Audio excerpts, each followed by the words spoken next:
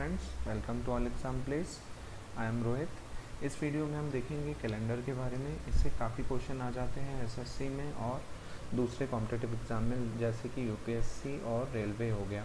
ठीक है? तो हम देखते हैं कैलेंडर के बारे में। पहले तो मैं इस वीडियो में बात करूँगा लीप ईयर की। देखिए, सबसे पहले मैं बात करूँगा कैलेंडर में दो टाइप के क्वेश्चन पूछे जाते हैं। एक तो पूछा जाता है जब आपको रेफरेंस दिया और जैसे मैंने बोला 21 नवंबर 2013 को सोमवार था, यानी मंडे था तो बताइए 22 अगस्त 2012 को क्या होगा? तो इसमें एक रेफरेंस दिया गया है आपको कि इस दिन ये दिन था तो दूसरे दिन क्या होगा? ठीक है तो एक टाइप का क्वेश्चन ये होता है। सेकेंड टाइप का क्वेश्चन होता है जिसमें डायरेक्ट बोल देता है। डायरेक्ट बोल देगा कि 15 अगस्त उन्नीस को क्या था? तो ये बिना रेफरेंस का क्वेश्चन है। ठीक है तो हम दोनों देखेंगे इस वीडियो में क्वेश्चन कैसे सॉल्व करना है ओके पहले हम बात करेंगे इससे पहले लीप ईयर की। लीप ईयर क्या होता है, उसके बाद फिर हम ये वाला क्वेश्चन देखेंगे, फिर नेक्स्ट वीडियो में हम डिस्कस करेंगे बिना रेफरेंस वाले क्वेश्चन को ओके तो स्टार्ट करते हैं। सबसे पहले मैं आपको बता दूँ लीप ईयर लीप ईयर क्या होता है? ऐसा साल जिसमें तीन सौ छियासठ दिन हो। वो हमारा कहलाता है लीप ईयर और ये हर चार साल में एक बार आता है। हर फोर ईयर में एक बार रिपीट होता है। ठीक है? अब देखिए लीप ईयर चेक कैसे करेंगे? तो लीप ईयर को चेक करने के लिए तीन स्टेप होते हैं। स्टेप फ़र्स्ट आप उस ईयर को डिवाइड करें फोर से। अगर वो डिवाइड हो जाता है तो वो लीप ईयर होगा। लीप ईयर लीप ईयर होगा। ठीक है?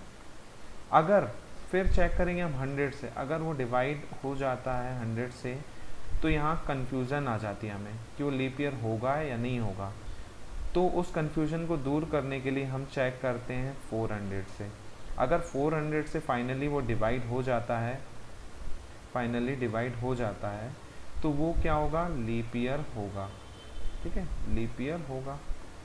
अब लीप ईयर होगा। एग्ज़ाम्पल के तौर पे मैंने लिखा 2000 ये चार से डिवाइड हो जाएगा। हाँ हो जाएगा लीप ईयर है। लेकिन सौ से डिवाइड होगा, हो रहा है सौ से डिवाइड तो ये लीप ईयर हो भी सकता है और नहीं भी हो सकता है। फिर हमने चेक किया 400 से। अब देखिए 400 से ये डिवाइड हो जाएगा। हाँ हो जाएगा। तो 2000 क्या होगा? लीप ईयर होगा। अब एग्ज़ाम्पल के तौर पे मैंने लिया 1700 ये चार से डिवाइड तो हो रहा है। तो लीप ईयर होगा क्या? अब हम चेक करेंगे 100 से। 100 से डिवाइड हो रहा है। हाँ हो रहा है। अब यहाँ आ गई कन्फ्यूज़न अब देखिए 1700 जो कि 400 से डिवाइड करेंगे तो होगा क्या? 17 बटे चार नहीं होगा। तो 1700 क्या हुआ? लीप ईयर नहीं होगा। आया समझ में?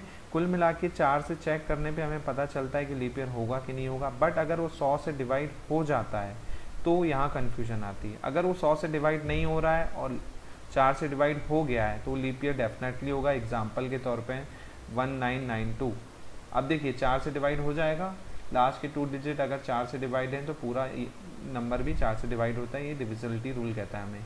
तो चार एकम चार चार या बारह, हो जा रहा है डिवाइड तो ये क्या होगा? लीप ईयर डेफिनेटली होगा। मतलब प्रोसेस क्या है इसमें? ये देखना है हमें, ठीक है? प्रोसेस ये है इसमें कि अगर चार से डिवाइड हो जाता है, अब देखिए